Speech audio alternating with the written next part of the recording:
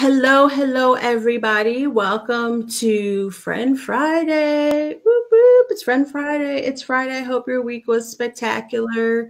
Um, this week, uh, I will be coming to you with a very special guest, and we are technically not going to be live when you're watching this on Friday. So I am not trying to trick you. I love you all too much to do that. Uh, but I'm going to be far, far away from my home, not my computer. And my good friend that's going to be joining me in just a second is actually in a whole other country, and it's the middle of the night for her when this is going to be airing. So uh, instead, you are welcome to put any of your questions, uh, your comments. So go ahead and put it right into the feed. I will be on live to answer any of your questions, and then she will be able to answer questions that you have for her. You know, a little while later. I won't I won't give you a timeline because you know she's got shit to do in her life. So um, you know, it'll happen. But please ask away, ask all the questions that you have. This week we're talking about starting our journey of connecting to our intuition, uh, on the path as we progress forward because at least here in the states we can finally breathe a little bit and so this was the perfect week for us to start talking about um, that sequence of the major arcana which we talked about on uh, Wednesday in our Woo Wednesday. So if you didn't get a chance to watch that yet, make sure that you check over there. So uh, we talked about briefly, we talked about the Fool. You know, my lighting's always weird. We talked about the Fool. Check. And then the Magician. I love this deck. Um, and it's pretty diverse. That was part of the reasons why I bought this deck and the High Priestess. So we'll talk a little bit more about these, but I want to um, bring in like a friend who really has helped me try to get on track um, over the last probably, I don't know, year and a half, two years. I don't even know how long it's been. Um, she is incredible. I'm going to let you let her introduce herself to you a little bit. Um, but her name is Maricela Robles. And um, she is an incredible author of just the cutest freaking books that she's going to talk about. She's a certified uh, meditation coach and the owner of Meditation Fairy, which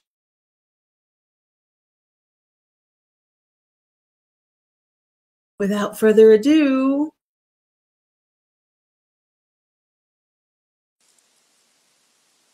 Hello. Wait, I didn't. I didn't do the cute part of putting your name up. Hello. Hello.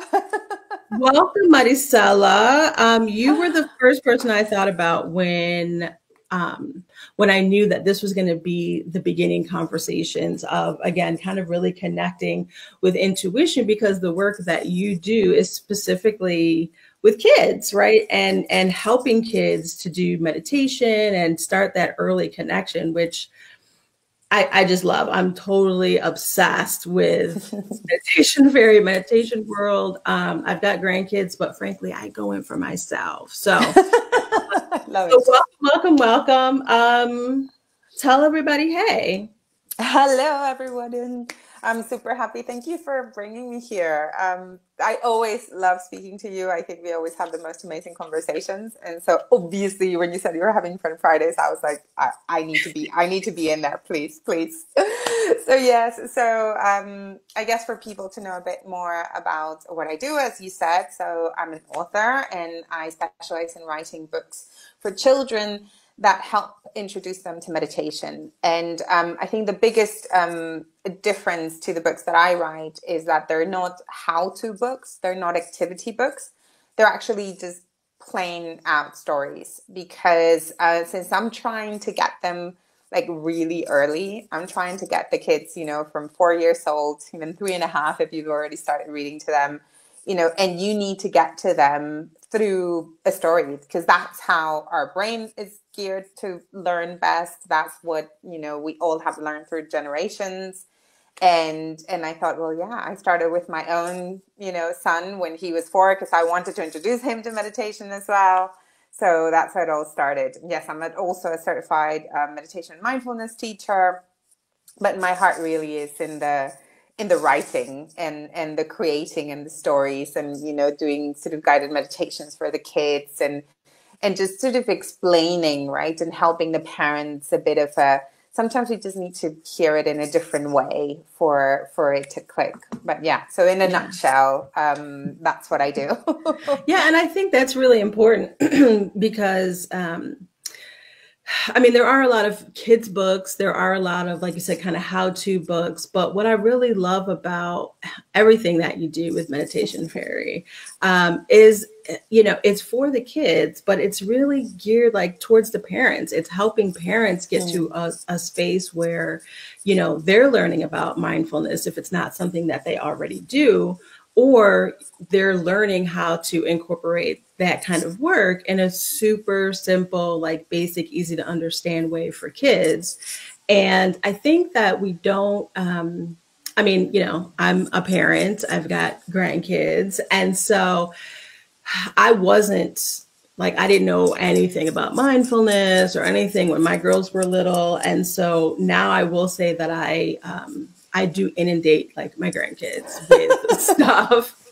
Um, and it really is so the first book that you wrote, um, and I'll have to make sure to find pictures of them so I can post up here too. Um, but the first book that that I got from you, um, I think it, I think I got it before. My dog always feels the need to chime in. If you can hear her in the background, just ignore her. Um, the first book when i got it i don't think you had i don't think the second one was finished yet. So i had the first book i took it with me a couple two years ago maybe for thanksgiving. And i sat down with i think i had six maybe of my grandkids with me and um, all different ages. Um, the youngest was maybe at the time maybe five. And um, up to eight. I'm going to say somewhere between five and eight, the group was. And they all had such a very different experience with it. And even though it may have seemed initially for me on the outset, like, this is kind of a young book for the older kids, but they absolutely loved it. They absolutely loved it. So when you were thinking about, you know, writing the book, and again, I know that you, um, you know, your son actually is the main character um, in the books, which which I absolutely love, um, and he's so cute in real life too, not just his character in the book. Um, but I really love that idea of like just starting off with like a simple story, right? And the story is very, you know, I, no spoilers here for people who haven't gotten the book yet, but it really is just like a discovery, right? It's this, you know, little boy who's showing his friend, um, like, yeah, you, it's really simple to just close your eyes and like create whatever, right? Exactly. And so, you know, that, um, I'm curious when you, you know, when you sat down and thought about like the perspectives on that, you know, how did that, how did you decide to kind of do it that way versus like from a parent perspective, like we normally would see like a parent guide, you know, of, yeah. of getting your kids started? So it's it's funny because um sort of I wasn't thinking about the parents at all. Good. I don't care about the parents. So I had I had obviously Sebastian, and you know he was four at the time, um, and I was like, how how do I explain this to him? Because at that time I was already, um, you know, I would wake up really early, um, and when I say early, I mean early for me she because um, yeah, because um, for everybody. I know because he was waking up already at like six o'clock or six fifteen, so I was waking up at five in order to be able to do a sort of about an hour or, or you know 45 minutes or so meditation. And many of the times um, he would then curl up sort of next to me. I would still be finishing my meditation and he would curl up. And so every time what are you doing? And what are you doing? And what are you doing? And you can't tell a four year old i'm meditating and they go like yeah, whatever you know? So right. it's like how um and and as as i started transforming sort of as i started going through my own transformation journey of of letting go of stuff and of understanding and more awareness, etc. And I realized how powerful it was. I thought I I need to teach this to him, and so it was really this really big desire to go like, oh my god, if he if if I only knew, like if he knows now, it will make his right. life so much different. Like yes. he will understand so many things. And it was it felt like an imperative, urgent thing that I needed to do to be able to show him. I was like, I, can, I don't want to wait until he's like 14 or 10 or whatever. No, he needs to know now so yeah. that it's normal. And um, and I started sort of thinking and thinking. I've always been um, I've always been a writer. Um, I had I had written like one children's book, which is a rhyming book, a very typical. You know, mm-hmm. it was mm-hmm. about like visiting different planets and things like that, which oh, will yeah. come out eventually as well. Um, I need to send it to the designer.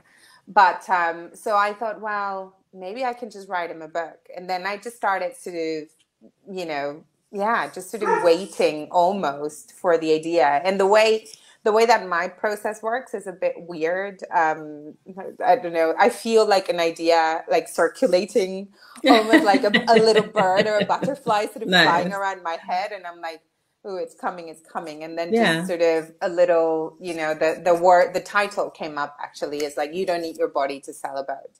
Actually, it was, "Did you know you don't need your body to sell about?" That's what I got, and then and then one day I was like, okay, that's it. And I just thought, oh, I need to write that down. And and I started writing it, and then just the whole book came out.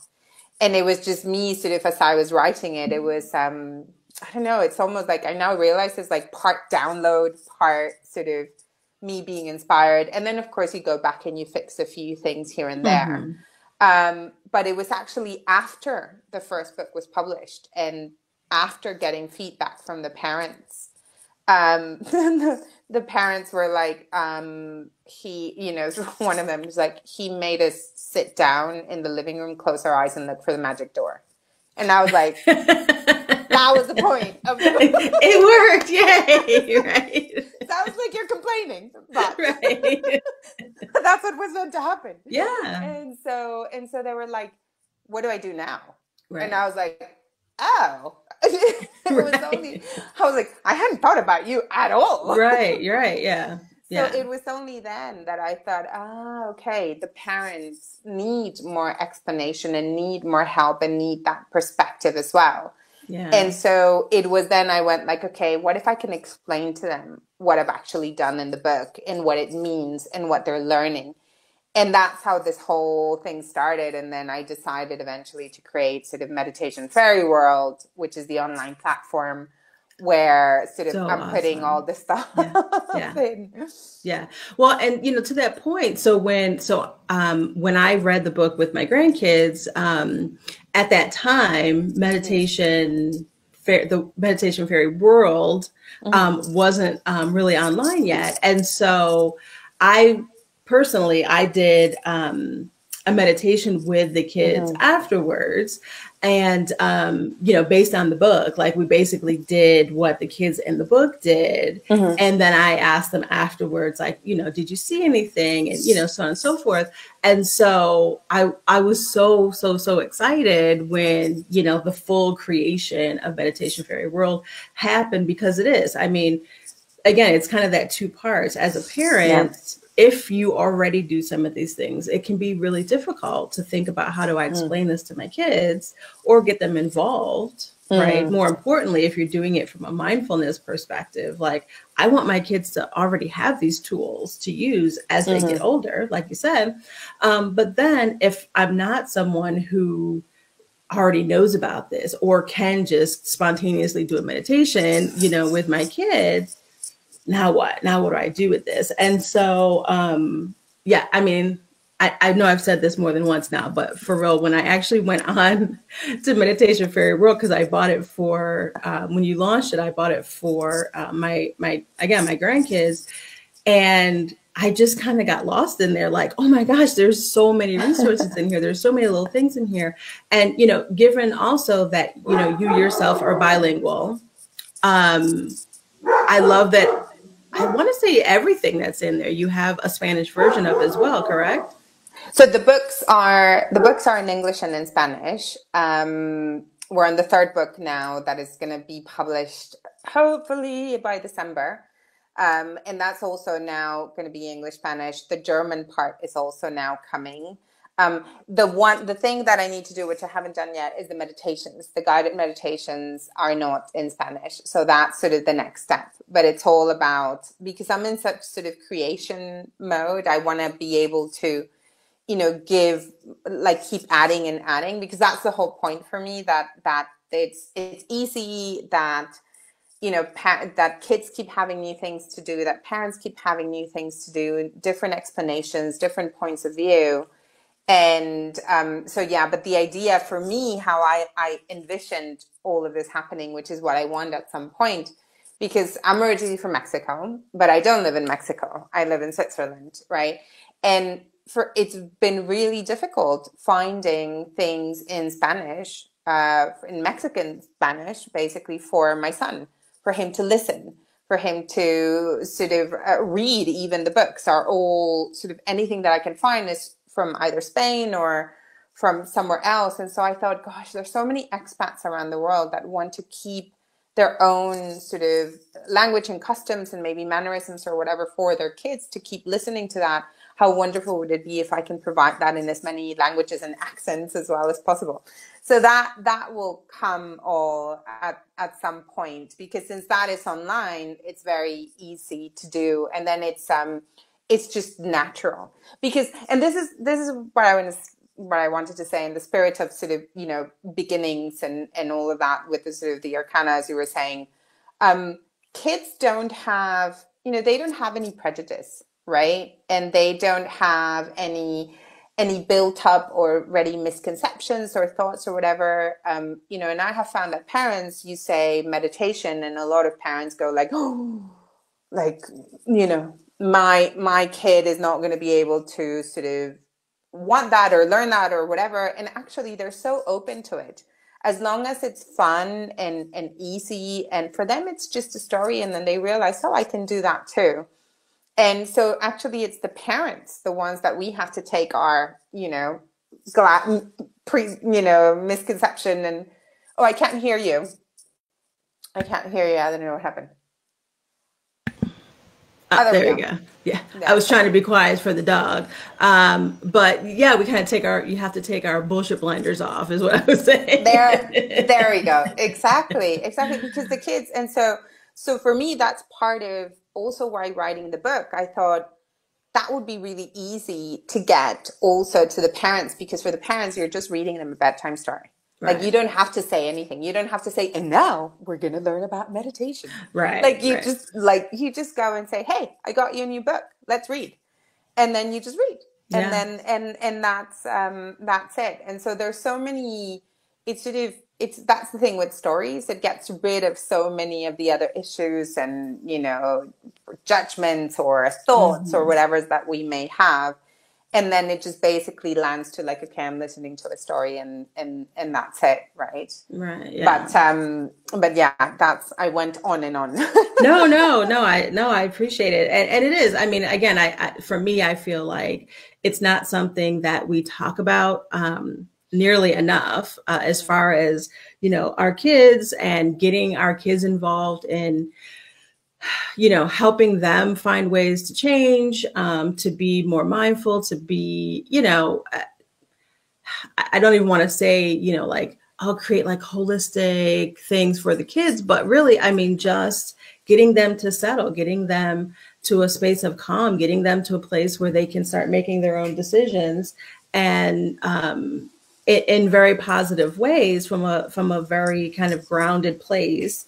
And i think that's the important thing sorry my dog's still being weird um, that's the important thing about you know what you're doing and and just starting that so early i just love it you know yeah. and you know so again you know this week as we talk about um, you know starting this fool's journey, right? And I know it's always weird with this camera um, on because it never wants to focus.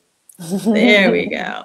Um, you know, starting with the fool's journey really is about, you know, not necessarily from a child's perspective, but that space, that childlike space of, mm. you know, you you don't know to be fearful yet. You don't mm. have the baggage of all the shit that's gone wrong in life or or the anxiety of what you've experienced it's about starting this journey of you know just like with a clean slate you know mm. And what if to me i think about the journey of the fool through you know tarot of you know imagine if right you were able to start out in that space right where you could kind of leave all the other stuff behind and just be excited that something you know you're heading out on this adventure right?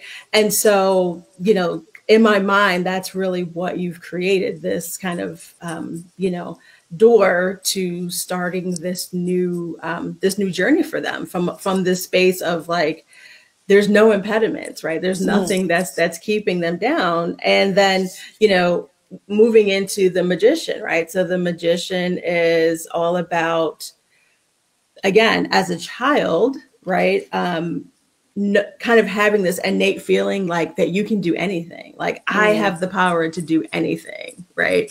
I know my uh, my youngest grandson who I call BBJ, which stands for Big Baby Jesus. And now he's now he's to the age where he's like, "Can you stop calling me BBJ?" No, I can't. I'm sorry. That's your name forever. um, but I can remember when he was little and um, just like he had this spirit of like anything, like I can do anything. Anything mm. is possible.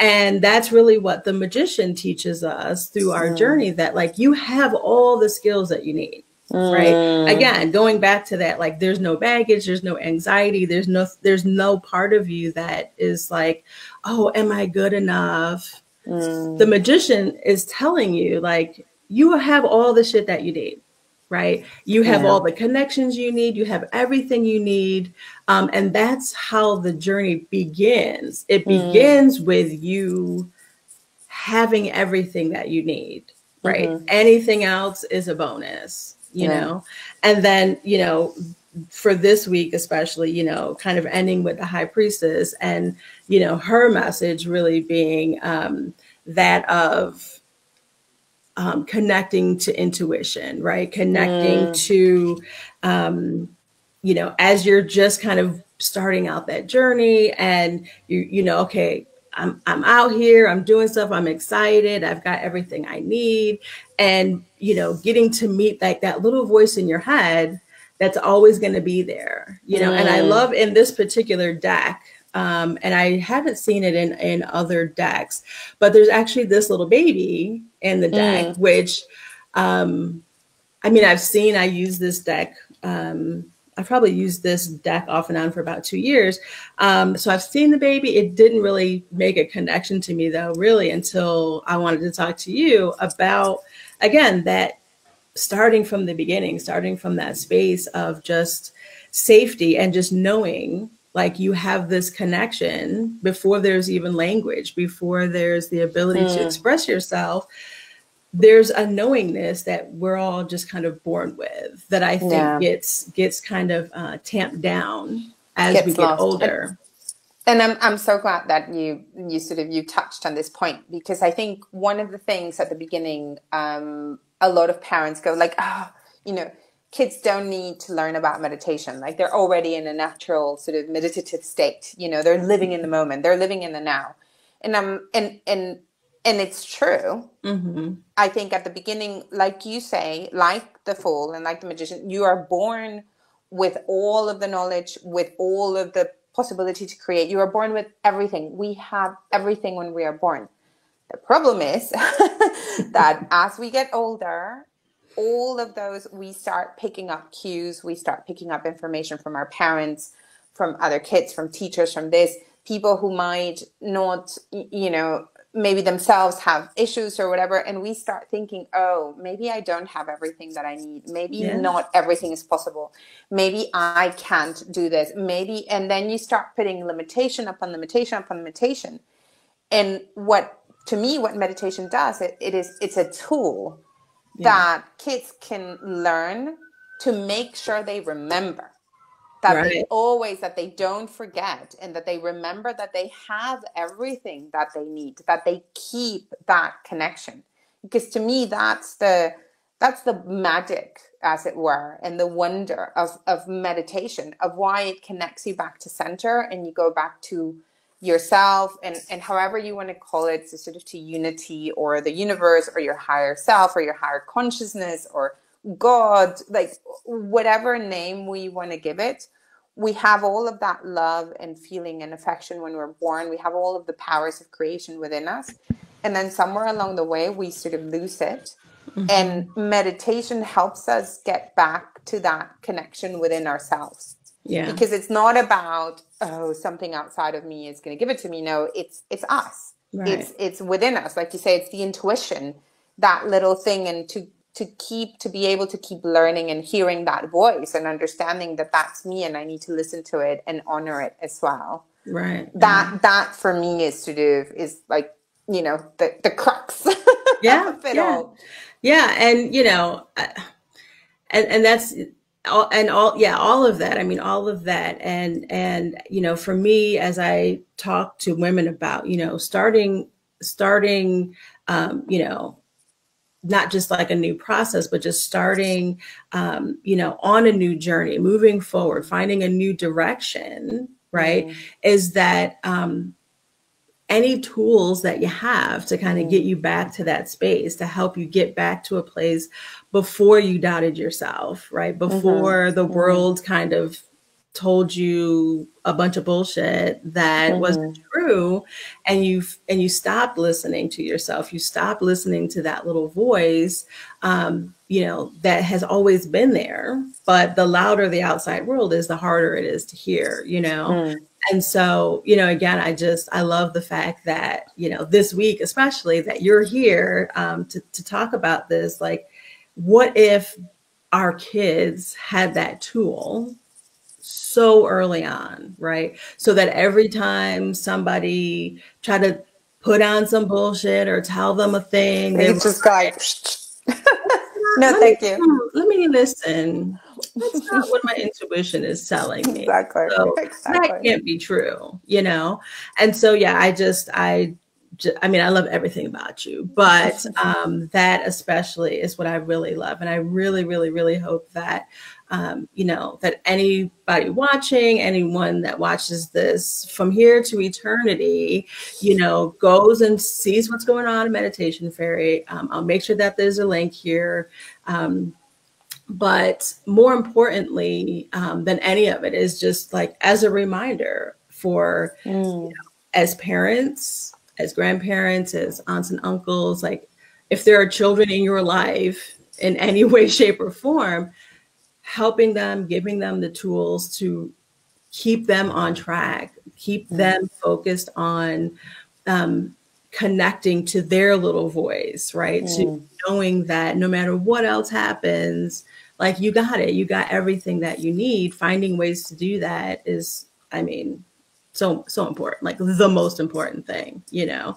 Exactly. and then focusing on us right? Mm. i mean i know you're supposed to start with us first and you know i guess it depends. I can say that now because like my kids are grown so you know my work you know no but uh, but you know and then but for ourselves as women Mm.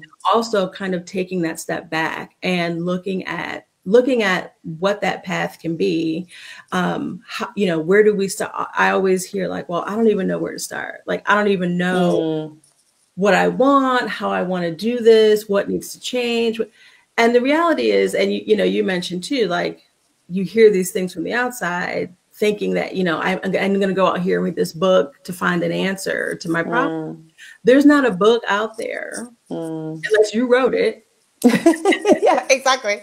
that's going to tell you what's best for you in in your life. But you have the answers, right? Mm. You have that knowledge if you are just able to sit and learn to listen again to that little voice inside of you. And it's not, listen, I'll tell you, it's not easy. It's not like one day you figure it out. And, you know, I will say Maricela meditates more than anybody I think I've ever would ever know. All the people I know combined, I think don't meditate as frequently as you do. I know you, and I know people that I'm like, I don't meditate enough. Right. They're meditating right. like three to four hours a day. And I was like, wow. yeah. Um, and but it's not it, it's not one of those things that it's like, oh, I got it. I figured out. Oh, I no. heard that voice. Or I love I love the analogy of your um, downloads. I was writing it down like those butterflies, or you know, like that little message kind of floating around, and you being open to letting it land. Exactly. Right? I mean, that's a, that's a perfect, I think, analogy for thinking about getting receiving those messages from your intuition. Mm. Um, and yeah, I feel like I'm gonna have to make like a little image of that now, just, just stuck in my head. Um, but you know, finding finding ways to allow that little voice to happen um, for yourself for those answers is just like so important. So, you know, we besides the tarot stuff this week, obviously we, you know, um, we have talked about. I have talked about this notion of needing to make sure that we are saying what we need to say, that we're expressing mm. ourselves, that, you know, um, I, I, wouldn't say a breakthrough at all, but, you know, I spent many years working on diversity and inclusion work. And obviously, everything that's happened with, you know, in this in the states specifically, um, or especially, I mean, it happens to some degree everywhere. Um, the the chaos and craziness and anxiety that's been happening for, frankly, you know more than even the four years but mm. in the last couple of weeks um, really has kind of reminded me and i think a lot of a lot of other people that we no matter what we're doing you mm. know the work i do right now is not specific mm. to diversity and inclusion but it's included right mm. there isn't there isn't one or the other there isn't mm you know, in the email this week, I was like, I'm, you know, there are people out there who will tell you like, oh, we're not going to talk about politics and religion and whatever here. I'm going to talk about that shit. Because how can you not? Yeah. Um, and there is a, you know, there's a fine line, you know, um, this is not a news, a cable news channel, right? So I'm not a pundit, but the realities are that our intuition, who we are, this path that we're walking, you know, yes, initially we're walking it alone, but as we've been saying, the world eventually gets involved, right? Mm. And who you are and what you look like and how you feel in your body and your body being in other spaces affects how we move through our life, how we're able to navigate starting again, refocusing, mm. listening mm. to our intuition. And so, you know, it to me, it's so important that we are being really clear and vocal about, um, you know, where we are, what's going on, you know. Yeah. Uh, you know, obviously, you know, meditation fairy is more geared towards children. Um, but even the fact that there are, like you said, multiple languages things are translated into, there are um, different accents, you know, that that kids can hear in the books. I know you've, um, I, I listened to what some of the things you have online, and I love the fact that a you did one yourself, um, but that you have other voices, that there are other accents, there are other people involved there, and I think even for our kids, like having them see that the world is not a monolith, right? Mm. There, is, there is variety. I'm not a subscriber necessarily to the like, there's we have more in common than we have different. Let's focus on that. No, I want you to focus on what makes me fucking special and mm-hmm. different, mm-hmm. right? That's that's what's important to me. I want you to see all those things. And so I love the fact that that's really, you know, even in subtle ways for kids, that's something that you have created in that space. And I think that's really beautiful. And I think you've yeah. Yeah, thank you. Thank yeah. you. Yeah.